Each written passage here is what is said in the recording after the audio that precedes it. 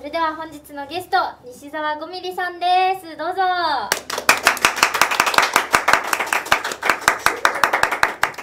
ろしくお願いします。よろしくお願いしますいやもう本当にあのもうずっと思ってたんですけども圧倒的顔面スタイルもいいしもうあれ前から歩いてきた時の感動がすごかったですね。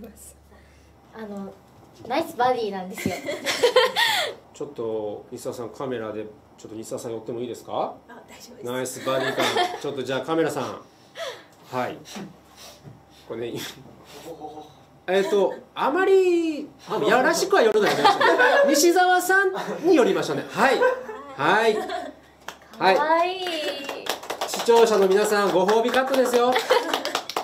はい。ナイスバディですね。ナイスバディですねちょっと僕もね